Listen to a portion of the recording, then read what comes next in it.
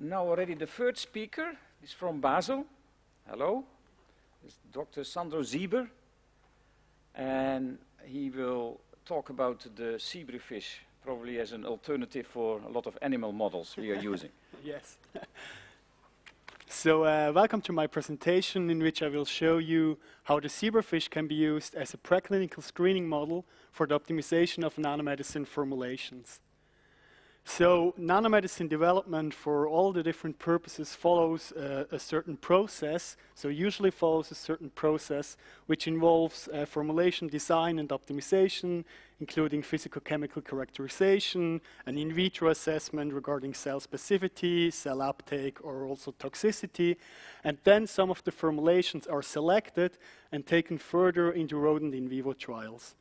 So obviously there is a huge gap between in vitro assessments and rodent in vivo trials, especially if you would like to look at dynamic processes like pharmacokinetics or biodistribution, which involve the presence of, presence of blood proteins or dynamic uh, bl blood flow conditions.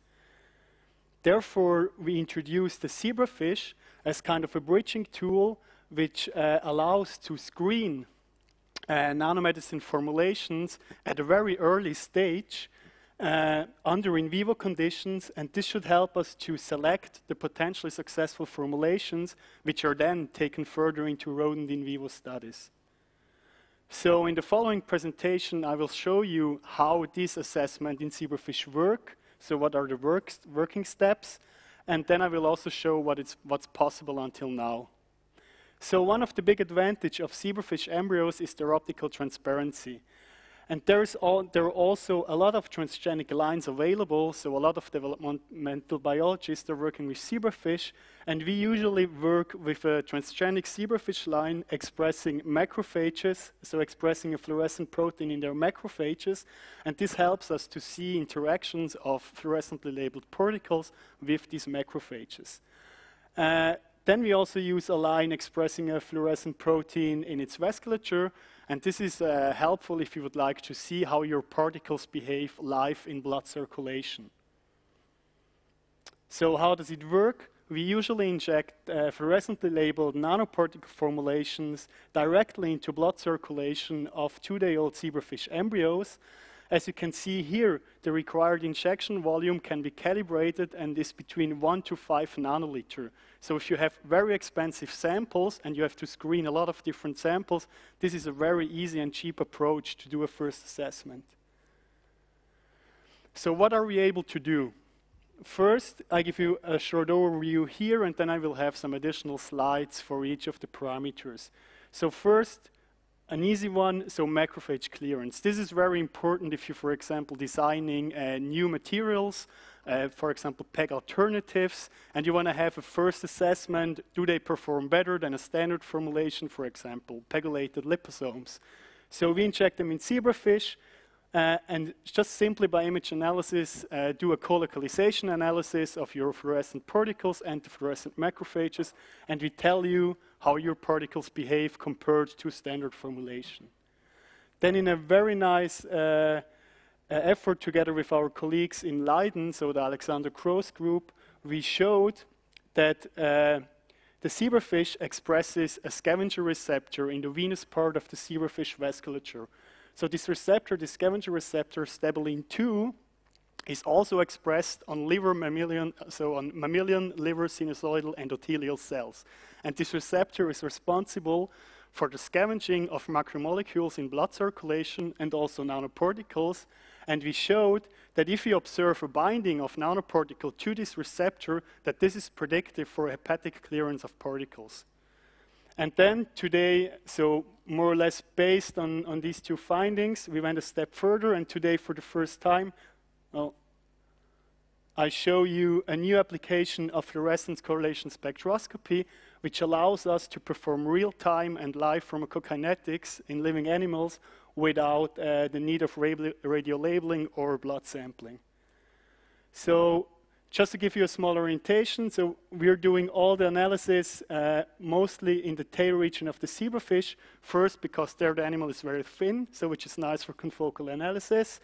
And then there are also a lot of macrophages located in this section. And in addition, the vasculature is very defined. So the top vessel here is an aorta, so it's the dorsal main aorta.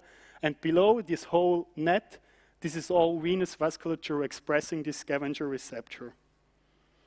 So of course, we uh, introducing a zebrafish for such analysis requires a lot of validation. I will show you some of the examples.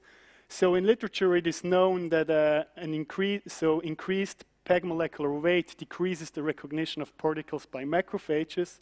So therefore, we prepared liposomes containing the same amount of PEG, but with increasing PEG molecular weight. And as uh, described in literature, the higher the PEG molecular weight, the lower the recognition of the particle and the lower the colocalization of nanoparticles, in this case liposomes, with macrophages. And I have to add, so the results I will show you now, they have also been validated in, in, in a comparable rodent in vivo model. So we also did this validation again ourselves. So regarding the hepatic clearance of nanoparticles, we uh, validated this uh, selecting a set of liposome which has been described in a very early uh, liposome publication from Peter Collis et al. so in the 90s, early 90s most probably. So they, they uh, showed that these uh, liposomes uh, containing these lipids are in general long circulating, whereas these liposomes are short circulating. So we injected them in zebrafish, and if you look at the zebrafish tail region, we see in case of long circulating liposome this diffusive staining pattern which shows us that the particles are still in circulation, whereas in case of the short circulating liposomes, the particles are bound by the venous part of the vasculature, so scavenged by the stabilin 2 receptor. And in order to get a little bit more detailed insight, we, in, in addition to this qualitative assessment, we defined uh, a zebrafish circulation factor, which basically tells you the ratio between the fluorescence in circulation and the fluorescence bound to the vasculature, and this helps you to more to compare so your liposomes better with kind of a quantitative value. But uh, doing something like this semi-quantitative is nice, but we tried, or we tried to do the next step, and this, we just, uh, I guess two days ago, the patent application was filed for this uh, fluorescence correlation spectroscopy application. So we inject, we're here in the tail region again. This is the aorta, a living zebrafish. We're injecting the fluorescent labeled liposomes, and then we're recording the fluorescence, which is diffusing through the confocal volume of, of the microscope.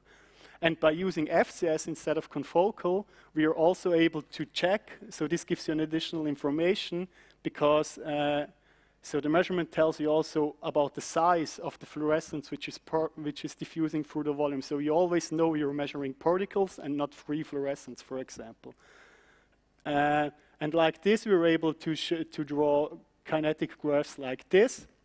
And this offers us the possibility to first start immediate measurements because we don't need blood sampling and we don't need radioactive nuclides. So to validate this or to test this in the first uh, series of experiment, we again prepared different liposome formulations, radio-labeled them, did a standard uh, rodent in vivo experiment, and compared this to our data in, uh, gained from an FCS measurement. And what you see, so formulations circulating for a lot or staying for a longer time in circulation, uh, they show the same behavior in zebrafish and rodents. And what is nice to see here, for example, in case of DSPC, uh, due to the fact that you do not require blood sampling and you are able to start the measurement immediate after injection, so after first pass of, of the formulation circulating through the zebrafish, you're able to see kind of initial removal of the first circulating particles right from the beginning away. So in summary, we validated the zebrafish as a model for macrophage clearance uh, regarding pegylated particles. We are applying this now for groups synthesizing PEG alternatives. And I didn't show you this data, but uh, this kind of gives you an idea of the resolution. So we are able to observe differences uh, in particle size of 60, 90, and 120 nanometers, which are really small differences. Then we were also able to use the zebrafish as a model for the hepatic clearance of particles. And uh, using FCS, it's, FCS, it's possible to perform real-time pharmacokinetic measurements in such transparent samples. And with this, I would already like to say thank you to, to all the in involved collaborators. So Dominik Witzigmann, he's now in Peter Cully's lab in Vancouver. Dr. Thomas Einfalt, which is working in Basel. The whole Alexander Gross group, where I was introduced to work with zebrafish. And of course, our uh, collaborators doing devel developmental biology and generating zebrafish lines for us, Markus Affolter, and the financial support.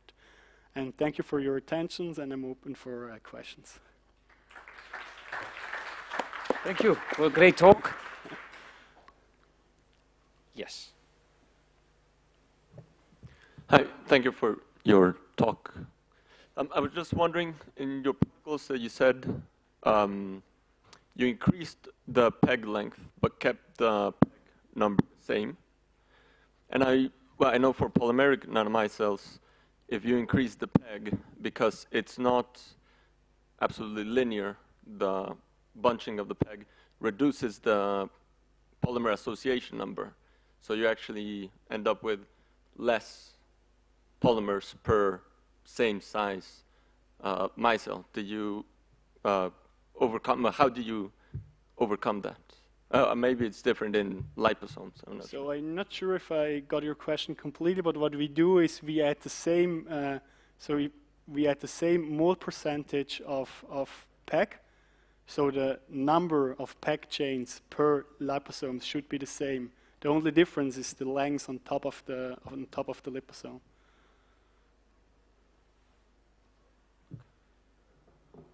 Yeah, uh, very nice talk. Uh, uh, I'm, I was interested about your method of FCS. We're using it for, yeah, it's like fluorescent DLS measurements. But uh, can you really get the size out of these measurements? Because the particles diffuse uh, uh, actively. They are Yeah. not really Brownian, So classical Brownian particles. Yeah, true. Uh, but it's possible to, so using a, a pump system, we, calibra- we can calibrate uh, the, the diffusion coefficients of the particle. So, So, you extract this part Yeah, of, you- okay. yeah, and then we just do it It's with calibrated yeah. speeds. We get a calibration curve, and then based on this calibration curve, you can calculate back the actual uh, diffusion uh, speed And, of the and this particle. is zebrafish or zebrafish embryo? this is zebrafish embryo. Ah, okay. So I can give you a short outlook. This is what we filed, so this is also included in the patent. So if you theoretically add a flow chamber and do kind of, I mean, we could do it in rats and mice, right? Just Mhm. using fluorescence, because if we do a flow chamber and do kind of dia- so Yeah. like dialysis, Simulate. yeah. yeah. Okay, nice, thank you. Yes. Very nice model. Um, short question: Have you analyzed the um, protein um, um, distribution bet- or the, the protein um, composition in zebrafish as compared to other species? As we know that um, we already have species effect between mice and rats sometimes, and that um, it's crucial to look at the, the appropriate species, especially for nanoparticle pharmacokinetics, and also with regard to complement activation, things like that. Yeah. So, how far is the zebrafish serum really comparable to all the others? Yeah, this is an absolute critical point. You're absolutely right. So the zebrafish serum composition is, I mean, they started characterizing it, but I would say it's far away from what we would like to know.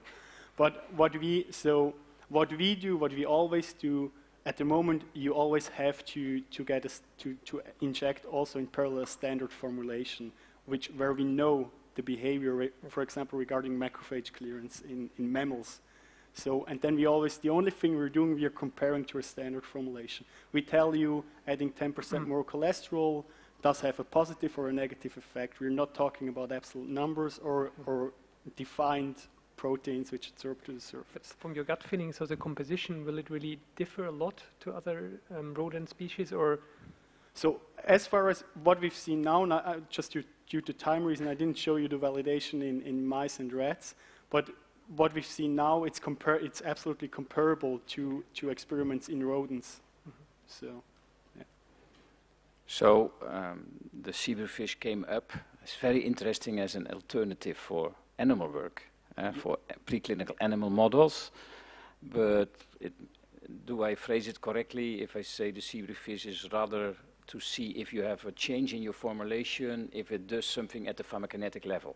Yeah, so I mean, it will never replace rodent in vivo No, studies, that was right? also not a claim, but it Yeah. was always at least reduce. huh? Yet the idea is to reduce or to give. I mean, what are we doing in a lab designing nanomedicines? We're fiddling around with with co- with uh, composition, different materials, different size, shape, whatever, and you do cell experiments. Mhm. But instead of doing cell experiments, it's possible to do. uh, It's pretty easy to do it. It's pretty fast. Yeah. So colleagues in our lab change the formulation. They give it to me. I do the zebrafish assessment in two hours, depending on imaging time points. Immediate feedback. Change the composition again. See what kind of effects do we have. Do you need ethical, animal ethical? No. No? also an Uh, advantage. you need you need a general yeah yeah it's always bad to, to state this yeah but uh, you do you don't need an approval until five day post fertilization you need one for the handling of the adult zebrafish but for performing such experiments on embryos you do not need any permission Okay, thank you so much. You're welcome